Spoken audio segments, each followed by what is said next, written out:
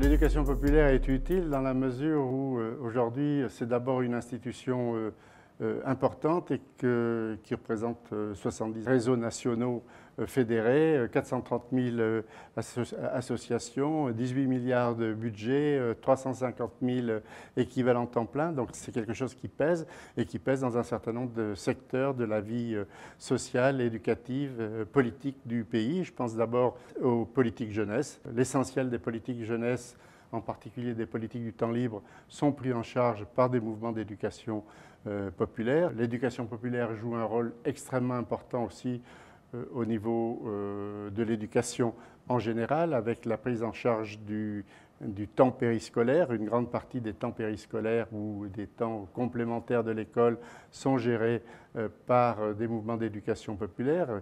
Et cette tendance s'est renforcée avec la mise en place des projets éducatifs de, territoire. Elle joue aussi un rôle important euh, en ce qui concerne l'accès ou ce qu'on pourrait caractériser comme les loisirs euh, cognitifs, c'est-à-dire des loisirs qui sont aussi des temps euh, d'apprentissage, d'apprentissage pas nécessairement dédiés. Je pense en particulier à toutes les, activités, disons, de loisirs culturels et à un acteur important qui est celui des universités populaires. Aujourd'hui, en France, il y a 400, environ 400 universités populaires qui euh, offre euh, des activités extrêmement euh, variées de l'ordre de la connaissance, mais aussi des pratiques de santé, de, de sport, d'activités culturelles.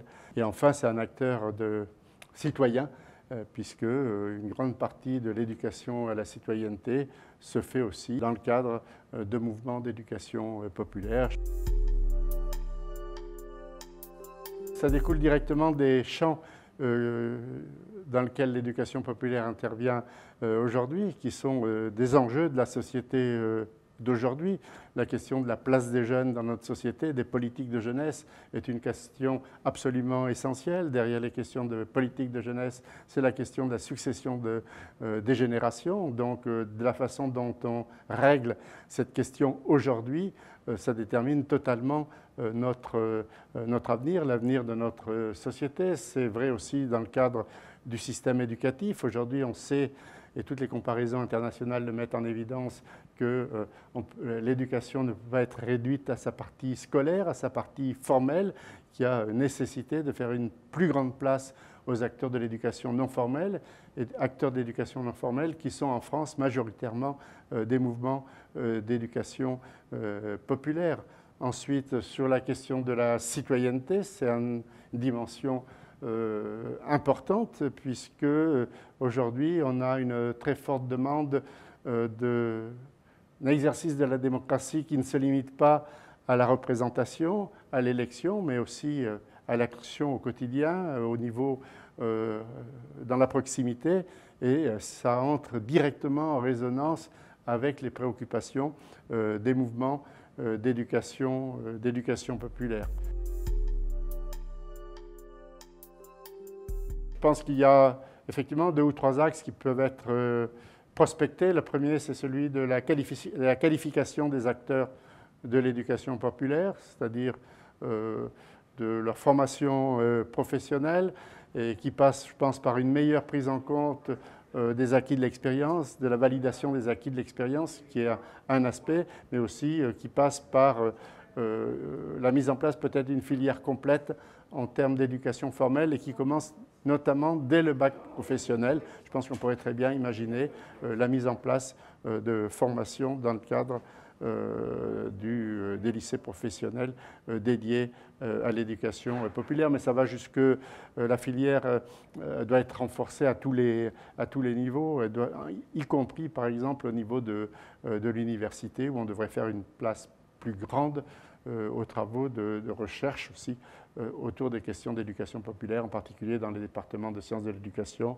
ou euh, dans les SP. Deuxième euh, volet, c'est celui de l'accompagnement accompagnement au niveau local des mouvements d'éducation populaire, mais aussi au niveau national. Aujourd'hui, ils sont confrontés à une, justement à l'irruption d'une société euh, nouvelles, avec des, questions nouvelles, comme par exemple cette question de la représentation politique, de l'exercice euh, de la citoyenneté, de la transformation de notre système euh, éducatif, dans un cadre d'une société qui a peu de choses à voir avec celle que l'éducation populaire et que la France a connue jusqu'à aujourd'hui, c'est-à-dire notamment à travers euh, l'accélération des mobilités, on est beaucoup plus mobile, on se déplace beaucoup plus vite, on partage beaucoup plus vite, on est informé plus vite.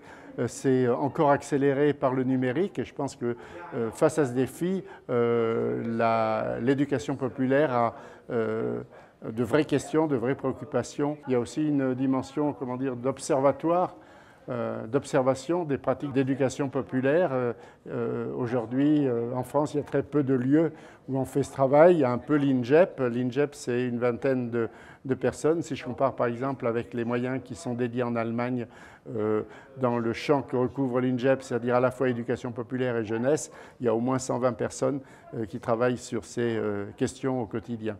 Donc observatoire, ça veut dire aussi plus grande visibilité, meilleure compréhension, outillage pour l'ensemble des acteurs, les acteurs politiques, que ce soit au niveau national ou dans les collectivités territoriales, mais aussi euh, les acteurs euh, associatifs.